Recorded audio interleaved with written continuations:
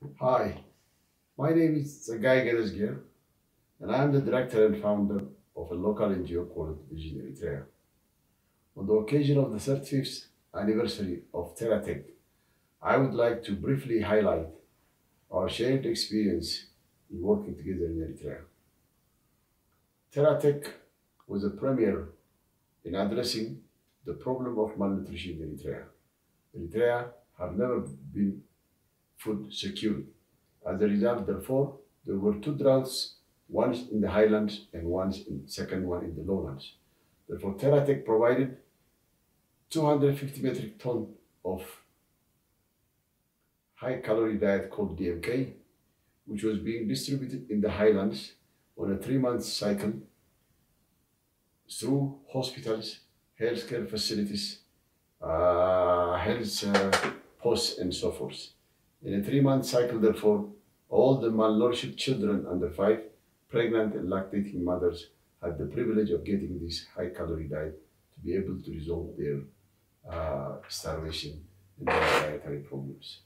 Therefore, an average of 500 metric ton of DMK was being provided to Eritrean famine victims for more than a decade. As a result, therefore, hundreds of thousands of targeted population of children under five and pregnant mothers have been able to be saved their lives. The second project focused in the provision of food security and at the same time also the provision of clean and safe drinking water in two communities in southern region called Abi Adi and Adi Itai. This project addressed the construction of a micro dam that could hold about 400 metric tons of water.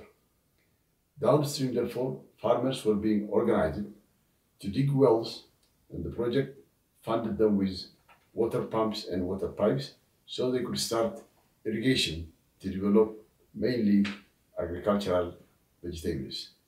So these vegetables were being consumed for food and the surplus were sold in the market to generate income for sustainability. Furthermore, there were also wells which were dug to provide clean and safe drinking water for both human and animal consumption.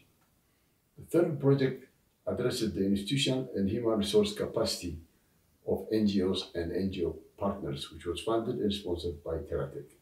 It started working in Eritrea first, and then as a result, I was able to go to Kenya and work with TERRA TECH partners, NGOs, and governments to go to let them go through project cycle management.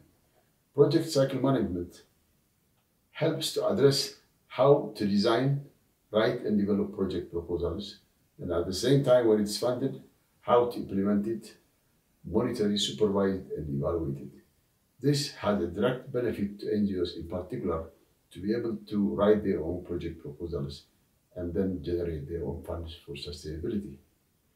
So I could have said a lot more, but because of time constraint, again, I like to thank Teratech for all their genuine and conditional help, and I wish them all the best for another 35 years. Thank you. 35 Jahre Teratech. Deine Spende ist das schönste Geschenk.